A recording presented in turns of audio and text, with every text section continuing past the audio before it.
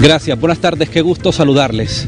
Esta es una historia pues bastante difícil para un colega periodista, José Carlos Panameño. Todos en los medios de comunicación conocemos a Panameño, quien también ha sido oficial del cuerpo de bomberos. Y en esta ocasión está haciendo una denuncia seria y como medio de comunicación solidario con los colegas, le escuchamos. Un gusto saludarle, José Carlos Panameño. ¿Cuál es su denuncia? Usted dice que hay persecuciones, incluso amenazas a muerte en contra de usted y de su familia. ¿Por parte de quién? Bien, muchas gracias. Eh, en efecto, Bridel y a todo el pueblo hondureño.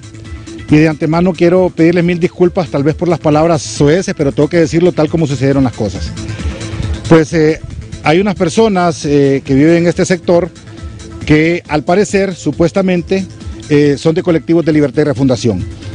Una de ellas trabaja, es una mujer que trabaja en la DPI junto con su esposo, que hace un mes, un mes y medio por ahí, me ha estado amenazando que me va a poner los tiros y me lo he encontrado en la calle a veces cuando yo he ido a, hacer compras a alguna pulpería o a la panadería que está aquí cerca de la, de la, colonia y me ha dicho eh, con, los dedos así, te voy a poner los, los, tiros periodista hijo de puta.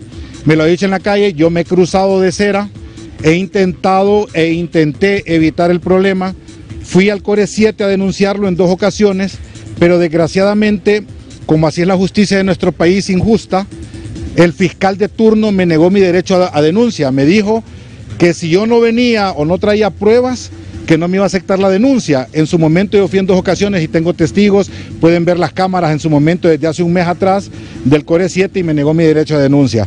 Me dijo, entonces le dije yo al fiscal, tengo que venir con los disparos en mi cuerpo, con los puñales metidos para que usted me pueda eh, aceptar mi denuncia.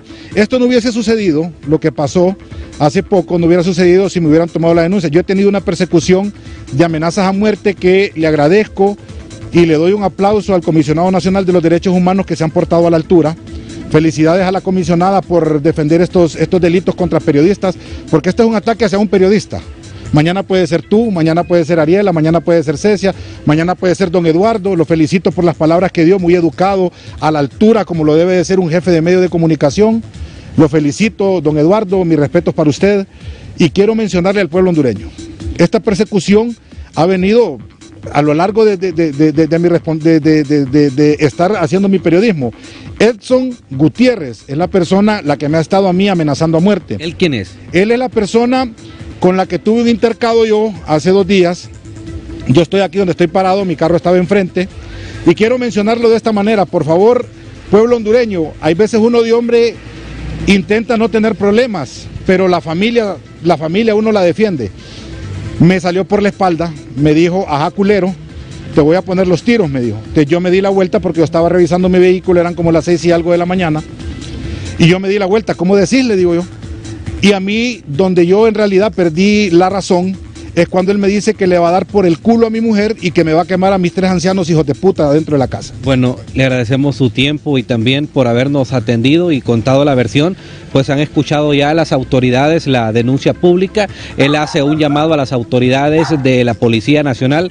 Él ha mencionado con nombre y apellido esta persona y ya escucharon ustedes toda la historia de lo que él dice, pues que está siendo víctima y aquí tres personas mayores de edad le han respaldado también. Hemos venido hasta su casa para poder confirmar. Él tiene una serie de videos porque tiene cámaras de seguridad que graban con audio la situación. Entonces, una vez que él está seguro de todo lo que ha manifestado por esas pruebas es que ha hecho pública esta amenaza y está procediendo pues a interponerla ante el Comisionado Nacional de los Derechos Humanos y otras autoridades. Cualquier tipo de violencia no es permitida, cualquier tipo de ataque contra cualquier persona no es permitida y en el caso de los periodistas pues nos solidarizamos con cualquier colega y hacemos un llamado enérgico para que pueda cesar cualquier tipo de agresión, para que pueda cesar cualquier tipo de falta de respeto porque no es correcto, no es conveniente todas las personas tenemos pues principios y es importante que siempre los pongamos en práctica en el respeto a, todas,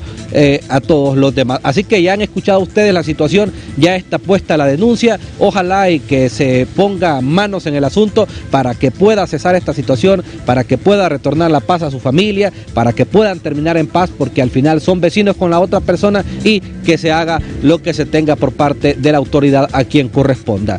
Buenas tardes.